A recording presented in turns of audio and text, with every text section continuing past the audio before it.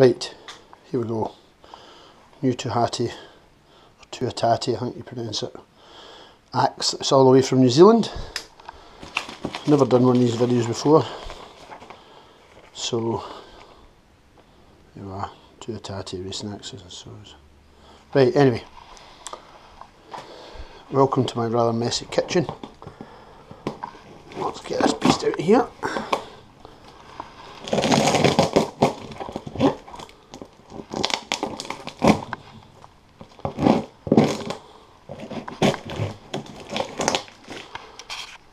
This is going to work. GoPro's on the chest harness. This has taken like probably two months or something to come here. So here's hoping it's pretty damn good.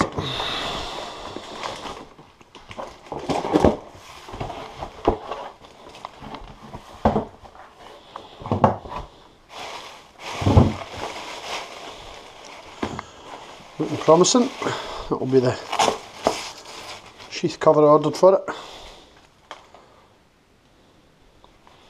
This has come all the way from New Zealand. I don't know if I said that or not. Um, they seem to be one of the big racing axe manufacturers.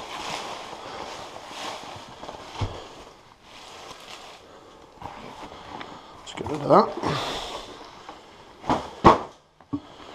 So,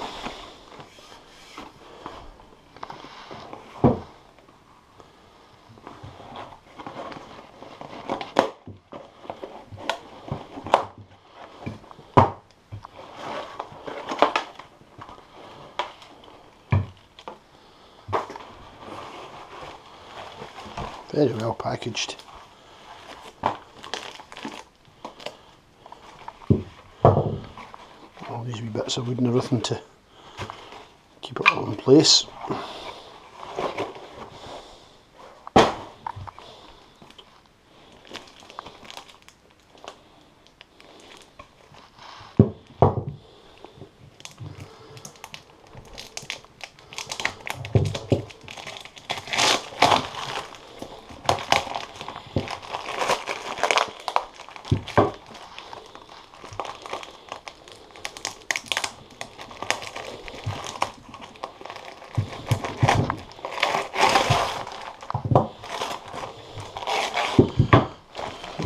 Wrapped? Guessing this must be a local paper out there.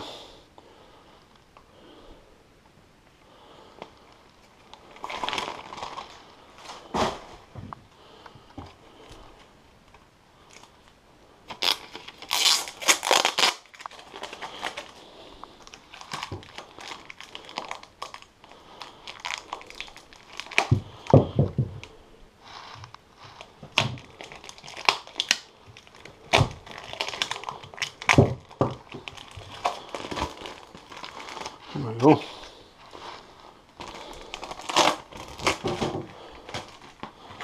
Small bit cover on it there.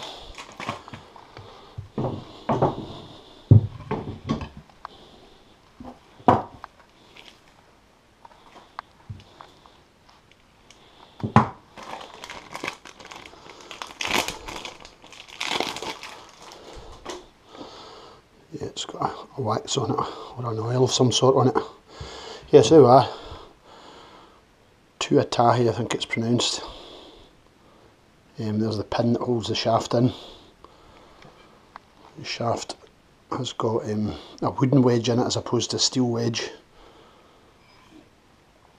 Other side of the pin. Oh! Looks like my name's on it as well. And it's got two numbers on it there. I'm guessing that's a serial number. Not quite sure what that is. But this is actually um, one of their work axes. It's not a racing axe. They weren't keen to sell me a racing axe, but they said they would send me, sell me a work axe that has um, the wings ground off it, which are these bits. I'm pretty sure I asked for a chisel grind on it. As I say, it's been weeks and weeks and weeks since I ordered it, but what a beast. Huge end in the handle so your hand doesn't come off. Hickory handle, I believe. Yeah, I'm well impressed with that. And for those of you that are axe freaks like me,